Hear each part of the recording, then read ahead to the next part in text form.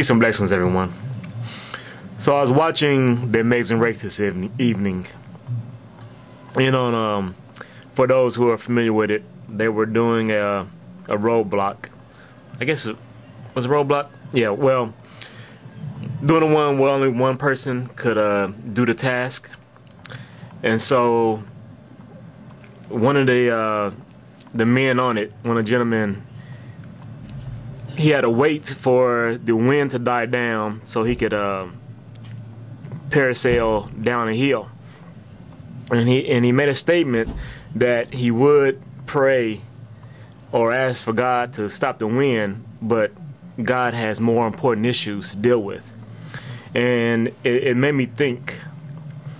It made me think and ponder and wonder that what if there was something to that? That with all the prayer wishes and pleading that come in from around the world, that there could be, um, you could basically tie up God, God's line.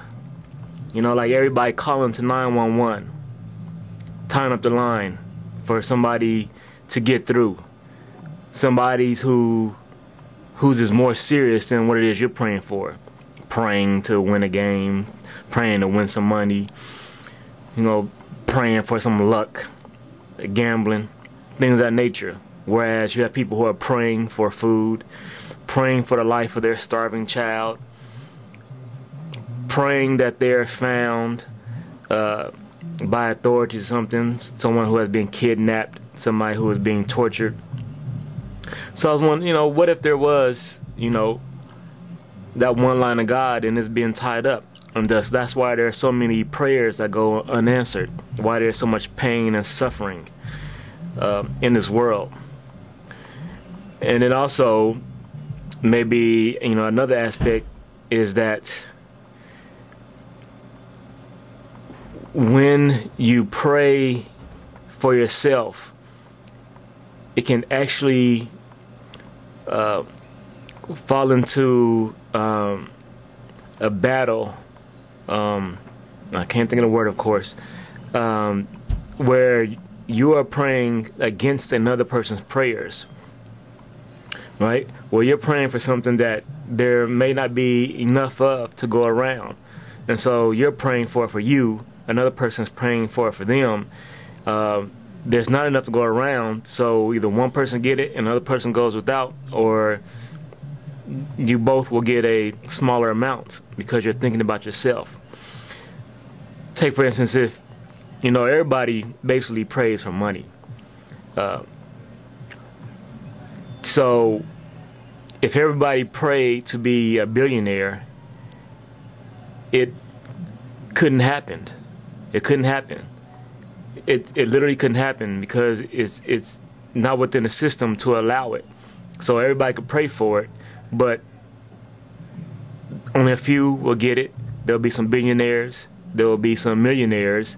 There'll be some, you know, upper class, and then you know all it goes on down. But it's not to go around. Although everyone can pray for it, but once again, it's because everyone is praying for themselves.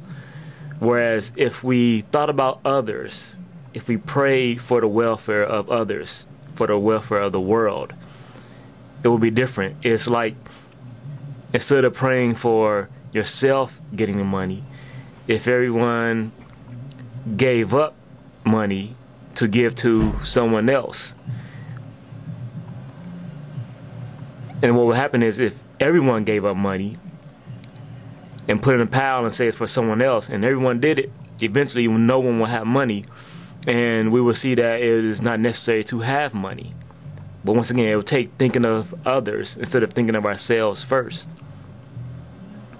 In the book series, The Secret and the Law of Attraction, they deal with the power of the individual to affect their world, their surroundings, and what happens to them.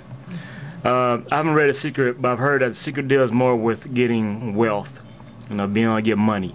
Whereas a law of attraction, it just deals with being happy, uh, you know, uh, having a positive effect and outcome on your life by thinking in positive ways, things of that nature, and and and and one specific point in the law of attraction, it says that people's lives don't have effects on other people's lives. So what you bring into your life, if you bring in positivity, someone else's someone else's negativity can't impede on your your life. And thus when you have negative things that happen to you, it's because you have brought it into your life in some manner. Whether thinking about it directly or in trying not to think about it and hoping and wishing that it doesn't happen, that it, it sets in your mind negativity and thus you bring it to you. Um, so in dealing with you know what I'm saying in this video, you know maybe that's not true.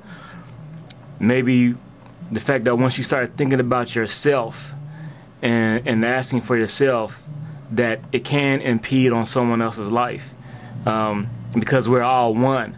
Thus, when I ask for something for myself, it might take away from another, something that could be available for another.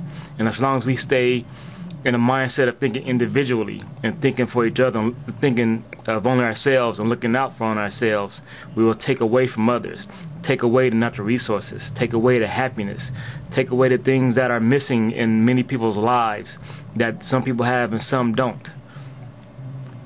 Once we stop that, stop thinking about ourselves and start thinking on a whole that the world as one and start looking and asking for the world as one then everything that can happen will happen. Everything that is available to us will come to us.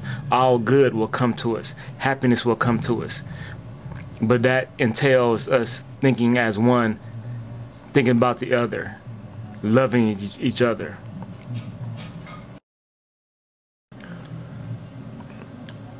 Um, so just something to thinking about. Think about. And I'm still trying to think of that word. Um, battle. That's it. God bless everyone. Peace and love.